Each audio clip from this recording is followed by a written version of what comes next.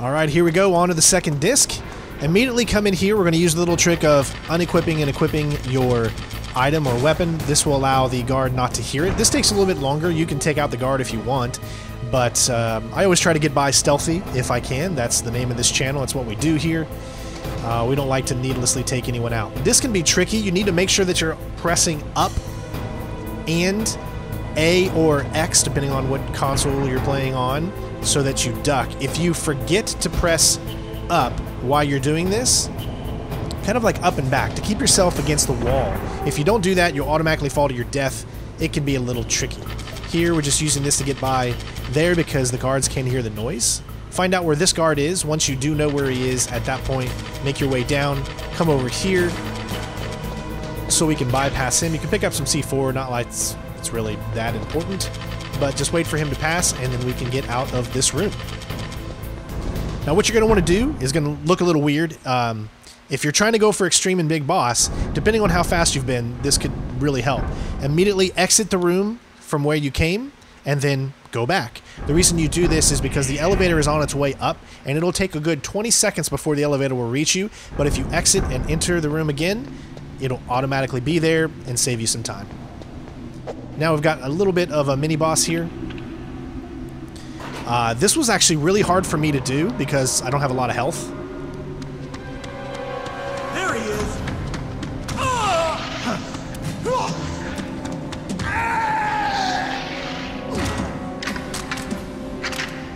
Damn. So my strategy is to equip your body armor. You're going to take some shots. Get behind the guy, but make sure you're pressing up towards him so that you throw them off. So it's very hard for me to explain in a short amount of time. So what you want to do is get behind them, face them, press towards them so that you actually throw them off, and then you should be able to get by it. Other than that, it's not too difficult. Make sure you have your body armor equipped. As you can see, we took a lot of damage there. You're going to get hit. I mean, it's almost impossible not to get hit in that section. You can also use your weapons to take them out, but that takes a very, very long time. As long as you have just a slither of health, that's all you need uh, coming up. You're going to get a full regain of health anyways. Throw a chaff here because we have a camera that can see you. Um, if you're low on ammunition, you can pick up some FAMAS there. Uh, there's other things in the room as well, but we're not going to pick any of that up. We're just going to head straight on. So this is kind of like leading up into the next boss fight. So we're going to have a cinema playing here, uh, or should I say a conversation here in just a minute. Otherwise, enjoy the ambience.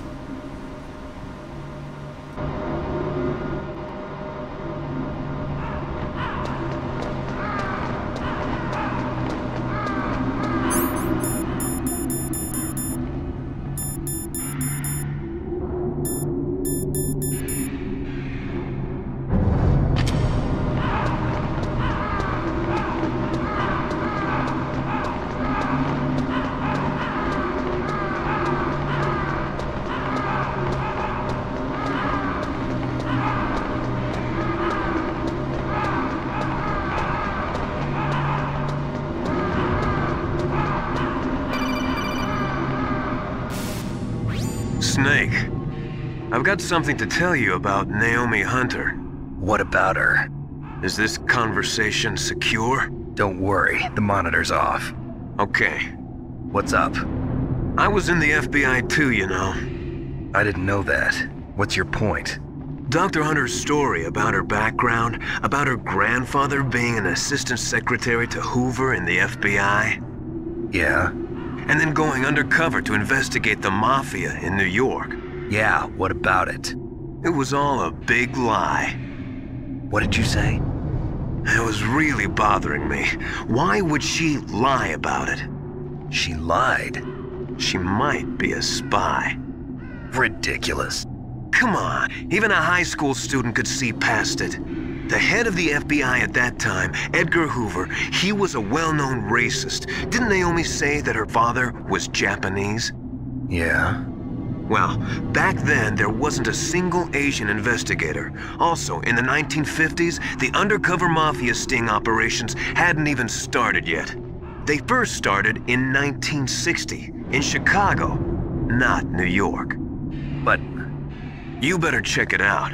The chief and the president mysteriously dying, and that ninja, Too many strange things are happening. Are you saying that Naomi might be behind it?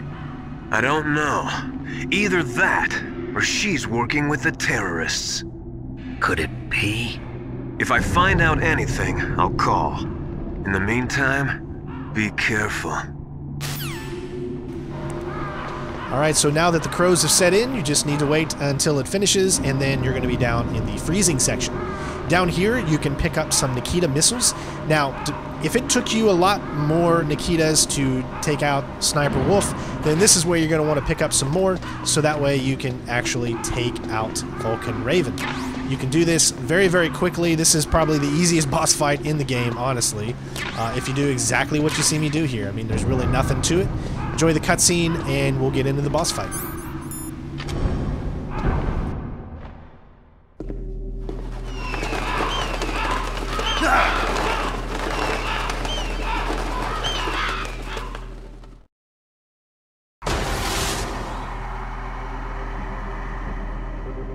Welcome, Cossack. This is the end of the road for you. Right, my friends? Listen, they agree. Ravens aren't scavengers like most people think. They're simply returning to the natural world, that which is no longer needed. Sometimes they even attack wounded foxes. You were the one in the M1 tank? Must have been a tight fit for a big boy like you. But that was no true battle. The Ravens and I were testing to see what kind of man you were. The judgment is decided. The Ravens say you are a true warrior. Am I hallucinating?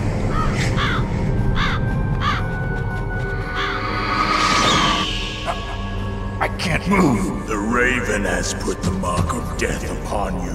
Blood from the east flows within your veins. Ah, ancestors too were raised on the barren plains of Mongolia. Inuit and Japanese are cousins to each other. We share many ancestors, you and I. I don't have any crows in my family tree. You jest, but indeed ravens and snakes are not the best of friends. Nevertheless, you will make a worthy adversary. You live in Alaska too. You know of the World Eskimo Indian Olympics? Yeah, I know it. Must be a real threat in the muktuk eating contest. Yes, you are right. But there is another event that I excel at. It is called the ear pull. It is an event where two opponents pull each other's ears while enduring the harsh cold. It tests spiritual as well as physical strength. You want to pull each other's ears? The form is different, but the spirit is the same. Rejoice, Snake! Ours will be a glorious battle. This isn't glorious. It's just plain killing. Violence isn't a sport. Well, we'll see if there's iron in your words. All right, so immediately go over to this corner here and equip your Nikita. Make sure you're not your body's not showing. Start firing and then aim over here and hit him once. You have about a four second kind of delay. That means he's in. Uh, you're invincible in that four seconds. That all of his shots will not hit the uh, Nikita missile. The hardest thing really is because I've been using analog stick during this entire playthrough, but you do not want to use analog stick during this because what happens is you have too much control over your motion using an analog. So I definitely suggest that you switch back to digital or use the uh, D-pad for this, so that way when you're aiming your missile, it's going to be so much easier to hit him. Otherwise, you're going to be moving it left and right, up and down, and then if you don't hit him within that four seconds, then obviously he'll kill you instantly. So there you go. Boss fight complete.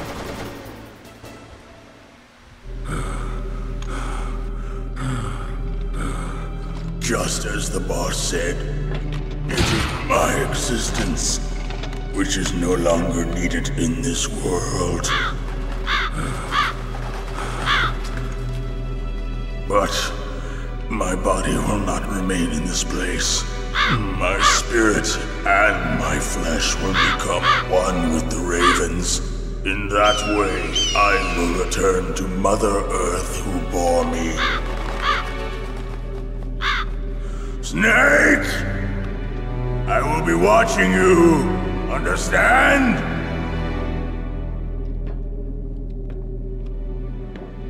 Snake, take this security card. It will open that door.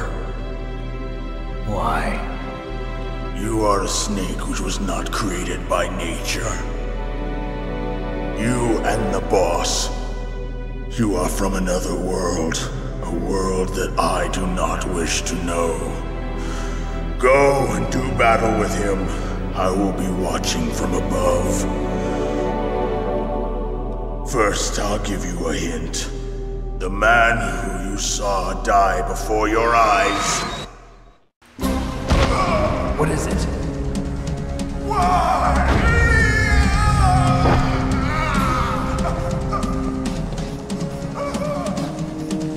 That was not the DARPA chief. It was Decoy Octopus, a member of Foxhound. Was a master of disguise. He copied his subjects down to the blood. So he drained the chief's blood and took it into himself. But he wasn't able to deceive the Angel of Death. The Angel of Death.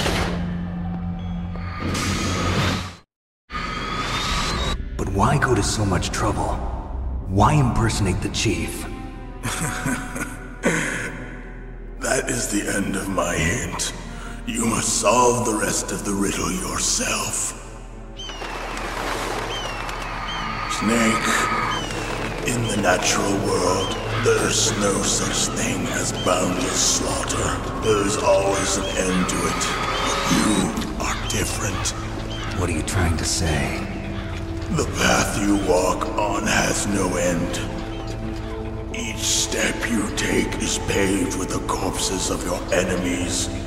Their souls will haunt you forever. You shall have no peace. Hear me, Snake. My spirit will be